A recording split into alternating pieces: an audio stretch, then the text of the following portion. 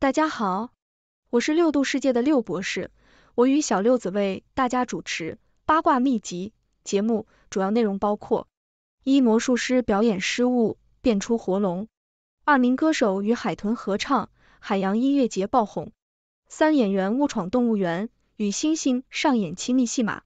那么，小六子可以先跟我们说说魔术师表演失误变出活龙。哈哈，好吧，让我们来聊聊这个既神奇又带点滑稽的故事。想象一下，一个魔术师，我们就叫他大卫·童龙菲尔德，在一次充满期待的表演中，准备展示他的终极魔术——空箱变龙。大卫·童龙菲尔德是个有着悠久传统的魔术师，他的祖先据说曾是亚瑟王的御用娱乐师，专门负责在宫廷宴会上变出一些小兔子和鸽子来逗大家开心。但大卫不满足于小打小闹，他想要做些震撼世界的大事。于是他决定变出一条龙。在那个命中注定的晚上，观众们屏息凝视着舞台中央的巨大魔术箱。大卫戴着他的标志性高顶礼帽，一边念着听起来像是从《哈利波特》里抄来的咒语，一边神秘兮兮的挥舞着他的魔杖。灯光忽明忽暗，音乐也越来越紧张，观众们的心跳几乎能和鼓点同步。阿布拉卡隆布拉！大卫大喊一声，然后猛地拉开箱子的帷幕。但是，哦，天哪！不是一条由丝巾和橡皮泥拼凑而成的假龙，也不是一条机械龙，而是一条真真切切、活蹦乱跳、可能还会喷火的活龙。他的眼睛闪着好奇的光芒，看着这群突然出现在他面前的小小人类。观众们首先是一片寂静，紧接着是一阵混乱的尖叫。有人惊呼这是最真实的 3D 效果，有人则在想这是不是那个新的增强现实技术。但很快，当龙开始在舞台上踱步，偶尔还用尾巴拍打地面。大家意识到，这不是科技的魔法，而是真正的魔法。大卫·童龙菲尔德此时可能是场上最惊讶的人。他的魔术书上明明写的是变出一条看起来很真的龙，但现在这条龙看起来不仅真，而且活蹦乱跳的，让人怀疑他是不是刚从《冰与火之歌》的拍摄现场逃出来的。在接下来的几分钟里，大卫试图用各种魔术术语来让龙消失，但龙似乎对此并不买账。他甚至开始对着观众喷出几团小火焰，好像在说。看看我，我是不是很厉害？最终，大卫不得不承认，他不仅变出了一条龙，而且还是一条他完全无法控制的龙。幸运的是，这条龙似乎并没有伤害人类的意图，它只是对这个新奇世界充满了好奇。故事的结局是，大卫·童龙菲尔德和他意外变出的龙成了全球新闻的头条，而这条龙最终被一家专门照顾神秘生物的保护区收养。大卫则被魔术界誉为真正的龙语者。尽管他自己至今也不清楚那晚到底发生了什么。这个故事告诉我们，即使是最有经验的魔术师，也可能在他们的职业生涯中遇到一些嗯，让我们称之为意外的惊喜。而对于我们这些旁观者来说，这不仅仅是一场表演，这是一次关于预料之外的奇迹、控制与放手，以及在混乱中寻找秩序的教训。记住，下次你看魔术表演时，不要太惊讶，如果变出的不仅仅是兔子，而是一只独角兽。谢谢小六子的介绍，那再跟我们介绍一下民歌手与海豚合唱海洋音乐节爆红。好的，让我们潜入这个旋律与波浪交织的奇妙故事。想象一下，阳光照耀的海岸边，人们聚集在沙滩上，耳边响起了和煦的海风和轻柔的海浪声。突然，一位民歌手走上舞台，他他的声音如同天籁，但这还不是最让人惊喜的部分。随着音乐的起伏，海面上跃出了一群海豚。他们似乎在用自己独特的方式唱回歌手的旋律，这不是电影场景，而是在海洋音乐节上真实发生的一幕。首先，我们得承认，海豚是大自然中非常聪明的生物，它们的社交能力和学习能力令人惊叹。它们能通过声波进行沟通，甚至能模仿人类的声音。所以，当一位民歌手与海豚合唱时，这不仅仅是一场表演，这是跨物种交流的艺术展现。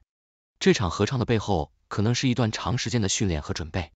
歌手需要了解海豚的声音频率，调整自己的歌声以匹配海豚的唱腔，而海豚则可能经过训练，学会在特定的音乐节奏下做出回应。这种合作不仅考验了歌手的音乐才能，也展示了海豚的智慧。现在，让我们加入一点幽默。想象一下，如果海豚是音乐节的评委，他们可能会用超声波打分，而我们人类只能在旁边猜测，嗯，这个频率的超声波是不是代表了满分？或者。如果海豚在合唱中突然决定即兴表演，那么歌手可能需要及时变成一位海洋版的爵士乐手，跟上海豚的即兴独奏。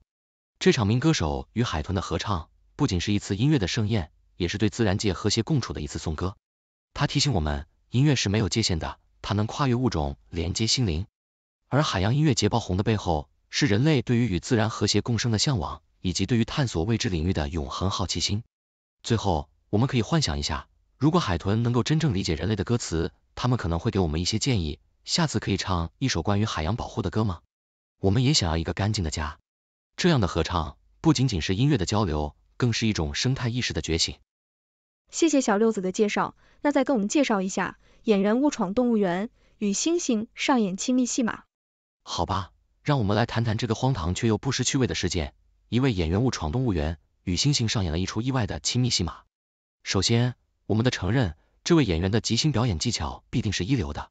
毕竟，能够在没有剧本、没有导演，甚至没有人类合作演员的情况下，与一位毫无表演经验的猩猩共舞，这本身就是一种艺术。想象一下这个场景：一位寻求新灵感的演员，或许在为即将到来的角色做准备。他漫步于动物园，希望从大自然中汲取灵感。然而，他的步伐可能有些过于自由奔放，以至于不小心穿越了那条不起眼的安全界限，闯入了猩猩的领地。在这里，我们的主角遇到了一位毛茸茸的巨星。一只好奇而友好的猩猩，这只猩猩可能以为这位不速之客是来自遥远星球的使者，或者只是一个新的游戏伙伴。于是，他用他那强壮的臂膀轻轻的拉住了演员，开始了一场无声的交流。演员作为一个专业的表演者，当然不会轻易放过这个展示自己即兴能力的机会。他开始模仿猩猩的动作，或许还尝试用肢体语言来建立一种奇特的对话。这时，围观的人群已经开始惊讶于这场意外的表演。而动物园的工作人员则在一旁急得像热锅上的蚂蚁，想方设法要将这位演员从猩猩的怀抱中解救出来。最终，这场戏剧性的邂逅在工作人员的努力下落下了帷幕。演员被安全的带出了猩猩的家园，而猩猩则可能有些困惑，不明白为何他的新朋友突然消失了。这个故事告诉我们几个深刻的道理：首先，动物园的安全警戒线是有其必要性的，不仅是为了保护游客，也是为了保护动物。其次，演员的工作真的无处不在，即使是在最意想不到的地方，他们也能找到舞台。最后，无论是人类还是动物，亲密的交流总是能够跨越种族和语言的障碍，即便这种交流可能会带来一些意想不到的后果。当然，这个故事也提醒我们，下次如果想要与猩猩共舞，或许可以先向动物园申请一个正式的访问机会，而不是悄悄的溜进他们的家。这样，我们就可以避免不必要的麻烦。同时也能保证所有的亲密戏码都是在安全和受控的环境下上演的。谢谢小六子的介绍。最后，我要向大家发出邀请，你有什么样的想法？你对这些故事有什么看法？或者你有自己的奇闻趣事想要分享吗？进入讨论吧，让我们一起开启奇妙又有趣的六度世界。谢谢大家收看六度穿越系列节目，这个节目由媒体专业人士。科学家、工程技术人员编纂、设计、制作，但是这些内容并非用于做出决策或法律裁定的基础。欢迎在节目留言区发表您的见解，纠正节目可能存在的错误。谢谢大家收看，欢迎订阅我们的频道，给我们节目点赞。